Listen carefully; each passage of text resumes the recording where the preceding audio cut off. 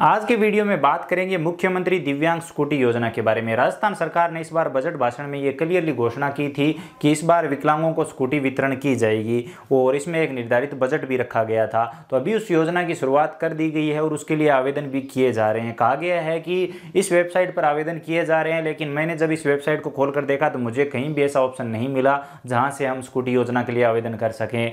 बाकी मैं आपको बता देना चाहता हूँ कि इसके आवेदन शुरू हो चुके हैं और बताया जा रहा है कि इकतीस तारीख तक ये आवेदन होंगे, यानी कि इकतीस अगस्त तक ये आवेदन किए जाएँगे। अब यहाँ पर मैं आपको बता दूँ कि इसमें टोटल पाँच हज़ार स्कूटियाँ वितरण की जाएगी। ये संख्या पहले दो हज़ार थी, उसके बाद बढ़ाकर इसे पाँच हज़ार कर दिया गया। पाँच हज़ार स्कूटियाँ टोटल मिलेगी, जिस इसमें सबसे पहले पंद्रह से उनतीस वर्ष तक की आयु वाले लोगों को शामिल किया जाएगा। सबसे पहले उन्हें स्कूटियाँ वितरण की जाएगी। उसके बावजूद अगर स्कूटियाँ वंचित रह जाती है तो जो पैंतालीस वर्ष से अधिक आयु के लोग हैं और जो विकलांग है, उन्हें ये स्कूटियाँ वितरण की जाएगी। तो इस तरह से ये पाँच हज़ार स्कूटियाँ वितरण की जाएगी। इसके लिए ऑनलाइन आवेदन होंगे और सबसे पहली प्राथमिकता मैंने आपको बता दिया है कि 15 से उनतीस साल तक के लोगों को मिलेगी जो कि किसी नौकरी पैसे में है या फिर पढ़ाई कर रहे हैं तो ऐसे लोगों को ये स्कूटियाँ मिलेगी। तो इसके बारे में मैंने आपको बता दिया है। बाकी बहुत सारे लोगों के कमेंट आ रहे थे, बहुत सारे लोगों ने व्हाट्सअप पर भी रिक्वेस्ट की है कि आप इस पर वीडियो बनाकर बताइए, लेकिन वास्तव में जब मैंने ये वेबसाइट ओपन करके देखी तो यहाँ पर कोई भी आवेदन का ऑप्शन नहीं आ रहा है। अगर आप में से किसी ने भी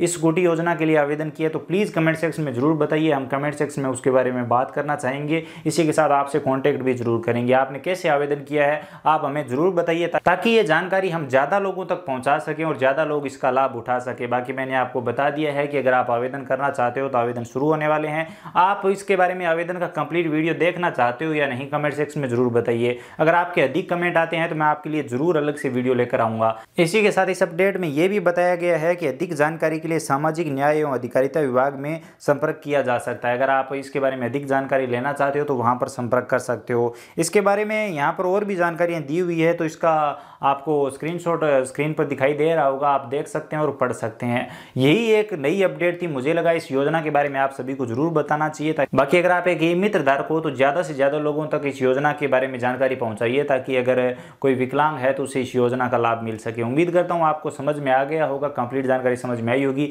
वीडियो पसंद आया तो लाइक करिए, अपने दोस्तों के साथ शेयर करिए। और अगर आप इसी तरह की हर अपडेट सबसे पहले जानना चाहते हो तो चैनल को सब्सक्राइब कर लो, बेल आइकन प्रेस कर लो, ताकि आने वाले टाइम में हम जो भी वीडियो अपलोड करें, उसका नोटिफिकेशन आपको सबसे पहले मिल सके और आप वो वीडियो सबसे पहले देख सकें। इसी के साथ कमेंट सेक्शन में ये ज़रूर बताइए कि इस टॉपिक पर आपको वीडियो चाहिए या नहीं, आवेदन प्रोसेस का कंप्लीट वीडियो चाहिए या नहीं कमेंट सेक्शन में ज़रूर बताइए। इसी के साथ अगर आपके मन में और कोई सवाल या सुझाव है किसी और योजना के बारे में भी आप हमसे जानना चाहते हो तो कमेंट सेक्शन में बता सकते हो। चलिए, मिलते हैं अगले वीडियो में, तब तक के लिए जय हिंद, वंदे मातरम।